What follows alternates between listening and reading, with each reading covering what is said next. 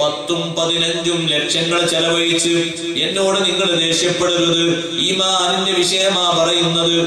പത്തും പതിനഞ്ചും ലക്ഷങ്ങൾ ചെലവഴിച്ച് ഒരു പെൺകുട്ടിയെ ബാപ്പ കെട്ടിച്ചേക്കുമ്പോ ഈ പതിനഞ്ച് ലക്ഷവും ആഹൃതത്തിൽ ഉപകാരപ്രദമാകണം. പടച്ച റബ്ബിന്റെ കോടതിയിൽ അനുകൂലമായി കിട്ടണം. ഒരിക്കലും അതിൽ നാണയം പോലും പ്രതികൂലമാകരുത്. സഹോദരങ്ങളെ സങ്കടത്തോടെ പറയട്ടെ. തട്ടമിട്ട് ഇറക്കാൻ ഇസ്ലാം പറഞ്ഞ പെൺകുട്ടിയെ തട്ടം പോലും തലയിലിടാതെ തോടും ഭാഗങ്ങളും കാണിച്ച് കൈയിന്റെ മുട്ടും കൈത്തണ്ടയും കാണിച്ച് കാലിന്റെ മുട്ടിൻ കാൽ വരെയുള്ള ചെറിയൊരു വസ്ത്രം ധരിപ്പിച്ച് പുറത്തിറക്കുന്ന മുസ്ലിമായ മനുഷ്യന് ഈമാനിന്റെ ഊക്കത്രയുണ്ട്. ഒന്നാലോചിച്ചു നോക്കൂ സഹോദരങ്ങളെ പതിനഞ്ച് ലക്ഷം വെള്ളത്തിലായി പോയില്ലേ? പതിനഞ്ച് ലക്ഷം പ്രതാപിലായി പോയില്ലേ? ഞാൻ കുറ്റപ്പെടുത്തുകയല്ല സങ്കടം കൊണ്ടൊരു ഉദാഹരണം പറഞ്ഞതാണ്. എത്രയോ സംഭവ വികാസങ്ങൾ അങ്ങനെ കാണാം. ഈ അടുത്ത് ഞാനൊരു കല്യാണ വീട്ടിൽ ഒരു ഓഡിറ്റോറിയം കല്യാണത്തിന് പോയി. ഞാൻ സാധാരണ കല്യാണത്തിന് പോകൽ കുറവാണ്. ഇങ്ങനത്തെ വല്ലതും കണ്ട ഉടനെ പറയേണ്ടി വരും. അതിൽ പോകാതിരിക്കലല്ലേ കരുതി ചിലപ്പം പോകൂല. നിർബന്ധമായ രൂപത്തിൽ പോകേണ്ടി വന്നപ്പോ പോയതാണ്. ചെന്ന് നോക്കുമ്പോ അവിടെ കല്യാണത്തിൽ ഈ പെൺകുട്ടിയുടെ വാക്കൊരു മൊയ്ലിയാരാണ്. ഞാൻ ആ മൊയ്ലിയാരെ വിളിച്ചു പറഞ്ഞു നിങ്ങൾ ഈ സദസ്സിന്റെ മുന്നിൽ ഒരൊറ്റ സ്റ്റേജിൽ ഇരുത്തിയിട്ട് മാറി മാറി ഫോട്ടോ എടുക്കാനോ? നഴുതുമില്ല നിങ്ങൾ എവിടുന്നാണ് ഇത് പഠിച്ചത്? ആരാണ് നിങ്ങൾക്ക് ഇത് പഠിപ്പിച്ചെന്നത്? ഏത് സിദ്ധാന്തമാണ് ഇതിനനുകൂലിക്കുന്നത് അവർ രണ്ടുപേരും ഒരു വാഹനത്തിൽ യാത്ര പോയിക്കോട്ടെ വരന്റെ വീട്ടിലേക്ക് ഞാനതിന് തടസ്സം പറയുന്നില്ല. രണ്ടുപേരും ഒരുമിച്ച് റൂമിലിരുന്നോട്ടെ നിക്കാഹ് കഴിഞ്ഞതാണല്ലോ. വധൂവരന്മാരാണല്ലോ. അവർ സംസാരിച്ചോട്ടെ അവർ ഒരുമിച്ച് ഇറങ്ങിക്കോട്ടെ അവർ ഒരുമിച്ച് ഭക്ഷണം കഴിച്ചോട്ടെ രഹസ്യമായിട്ട് അതൊക്കെ ചെയ്തോട്ടെ. ഈ പരസ്യമായ ജനാവലിയുടെ മുന്നിൽ ഇരുന്നിട്ട് ഫോട്ടോക്ക് പോസ്റ്റ് ചെയ്യുന്ന സ്വഭാവം ഇസ്ലാമികമല്ല. എന്നോട് മാപ്പൂസ് പറയുന്നുണ്ട് കാര്യമുണ്ടോ? അപ്പമാരെവിടെയാണ് തീവ്രമായ ഈമാൻ സൂക്ഷിക്കേണ്ടത്?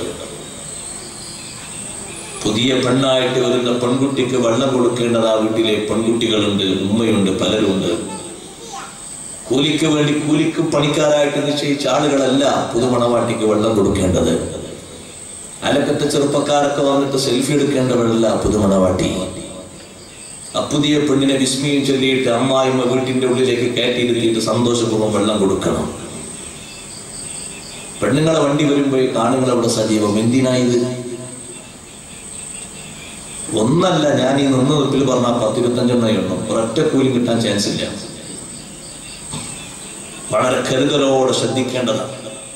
ജനങ്ങൾക്കൊക്കെ വെറുപ്പായി തുടങ്ങിയിട്ടുണ്ട് മുസ്ലിമിന്റെ കല്യാണം. ആ രൂപത്തിൽ കുത്തഴിഞ്ഞു പോയിട്ടുണ്ട്. വളരെ സൂക്ഷിക്കേണ്ട മേഖലയാണ്. ഞാനിത് നിങ്ങളോട് പറയുമ്പോൾ വളരെ ബോധ്യത്തോടെ തന്നെയാണ് പറയുന്നത്.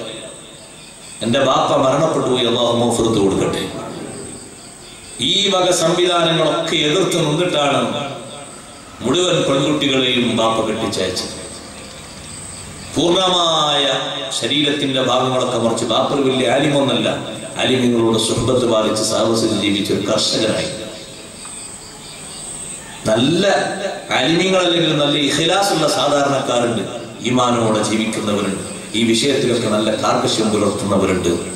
ഒന്നും അപജയം സംഭവിക്കരുത് എന്ന് പേടിയോടെ കരുതലോടെ നീക്കുന്ന ആളുകളുണ്ട്. കൂത്താട്ടത്തിന് അവർ നിലക്കും അനുകൂലമല്ല. നിങ്ങൾ ആലോചിച്ച് നോക്കൂ ഒരു പെൺകുട്ടിയെ നമ്മളെ വീട്ടിൽ നിന്ന് പത്തും പതിനഞ്ചും ലക്ഷം ചെലവഴിച്ച് നമ്മൾ ഇറക്കുമ്പോൾ ഒരു മണിക്കൂറാണെങ്കിലും തല തുറന്നിടാൻ ആരാ പെർമിറ്റ് തന്നത്? തോളുമറക്കാതെ മാറുമറക്കാതെ കൈമറക്കാതെ പറഞ്ഞേക്കാൻ ആരാണ് അനുവാദം തന്നത്? ഏതെങ്കിലും ഒരു പണ്ഡിതന്റെ ഒരു ചെരിഞ്ഞ ഒരു വളഞ്ഞ ഒടിഞ്ഞൊരു പണ്ഡിതന്റെ ഫത്വമെങ്കിലും പറയാൻ പറ്റും. ഒരൊറ്റ മധുഹവും അംഗീകരിക്കൂല. ഖുർആാനിന് ഘടകവിരുദ്ധമാണ് ഹദീഫിന് എതിരാണ്. സ്വഹാബത്ത് കാണിച്ച തീവ്രമായ ഈമാൻ നമ്മൾ മനസ്സിലാക്കണം. സഹോദരങ്ങളെ എല്ലായ്പ്പോഴും ശ്രദ്ധിക്കേണ്ടതാണ് സൂക്ഷിക്കേണ്ടതാണ്.